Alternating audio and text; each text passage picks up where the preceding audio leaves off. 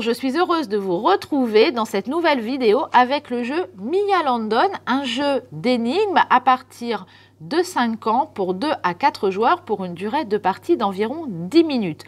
Dans Mia London, devenez enquêteur et retrouvez la fripouille qui a commis un affreux méfait parmi 625 suspects.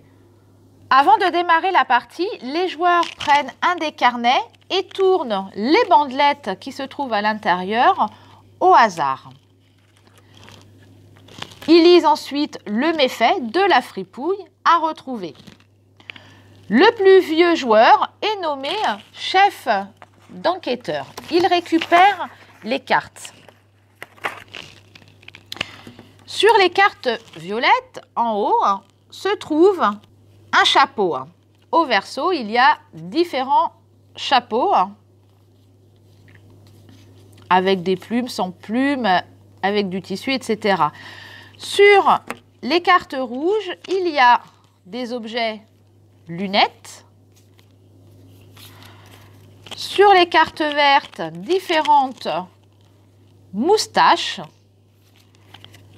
Et enfin, sur le dernier tas de cartes, les bleus, il y aura les nœuds papillons. Chaque accessoire est représenté deux fois. Les enquêteurs, eux, récupèrent chacun un carnet hein, qui comporte donc les bandelettes avec les différents euh, accessoires. Les différents chapeaux, les différentes lunettes, moustaches et nœuds papillons. Il faut que les enquêteurs reconstituent le visage de la fripouille recherchée. On mélange les cartes par type d'accessoires et on enlève une de chaque tas. On la met de côté. Ce sont les accessoires qu'il faudra retrouver. Le chef enquêteur commence par le chapeau.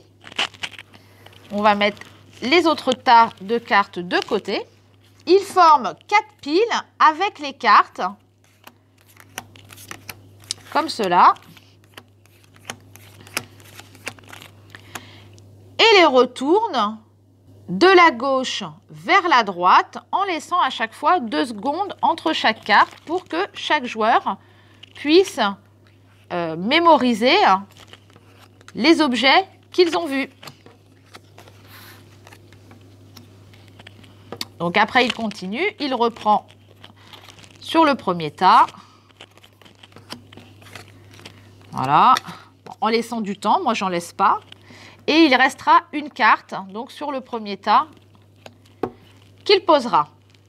Une fois toutes les cartes retournées, tous les joueurs recherchent dans son carnet le chapeau qu'ils ont vu qu'une seule fois.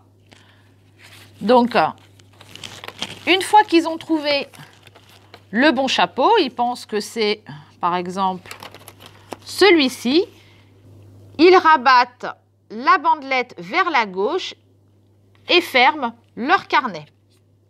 On va passer maintenant aux lunettes. On enlève les cartes chapeau, on prend les lunettes et on procède de la même façon mais seulement avec trois piles de cartes. Ensuite, on fera la même chose avec les moustaches mais uniquement avec deux piles de cartes et on terminera par le nœud papillon avec une seule pile. À la fin de la partie, chaque joueur révèle la fripouille qu'il pense être le coupable. Le chef enquêteur retourne une à une les cartes qui étaient mises de côté en commençant par le chapeau. Le joueur ayant identifié le plus d'accessoires remporte la partie. Observation et mémoire sont indispensables dans Mia London.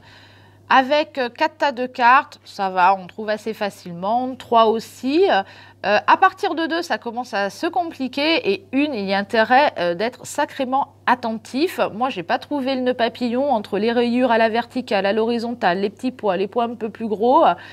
J'étais complètement perdue. Cette vidéo est déjà terminée. Je vous dis à bientôt avec un nouveau jeu.